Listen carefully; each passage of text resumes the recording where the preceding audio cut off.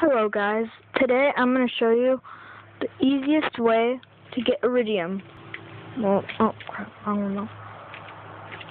Well, my easiest way is probably going to the Vault of the Warrior and killing them over and over.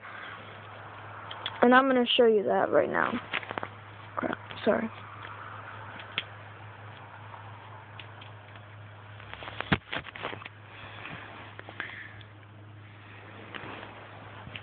Hang on, I'm gonna fix the camera. I dropped it. There.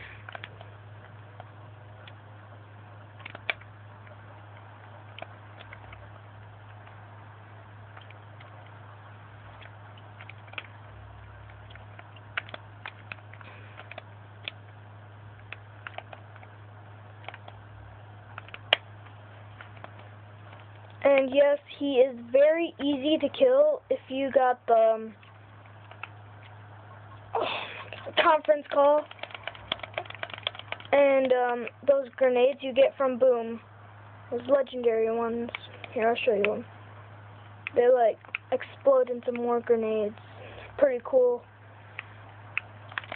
But there's a chance if you're if you're a legendary hunter like me, then um, it's probably you're probably gonna come to kill the warrior to get some legendaries.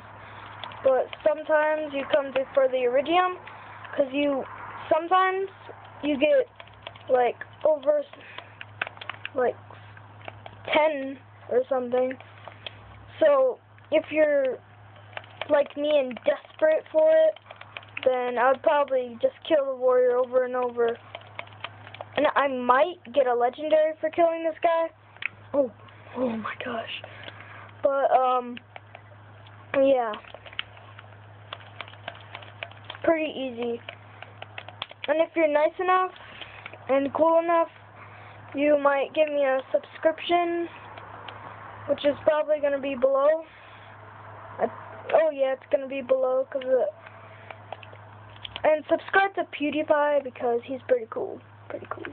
And Markiplier, and all that, all those cool people. Yeah, I just sent out my turrets so I could, yeah, so they could kill all those flying things. I forget their name because it's so stupid.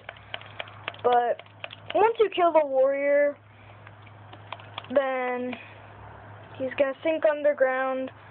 And when he comes up again, and I'm probably going to level up for killing him. Once he comes up, he's probably going to die, as you can see his health bar on the top. If you can't, then... Oh, volcanic crystal.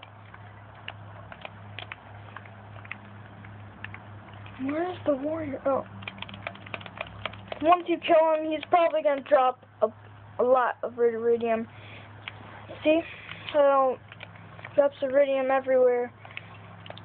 But usually I don't pick up the weapons. Ooh. Except this one, because, yeah, it's pretty cool.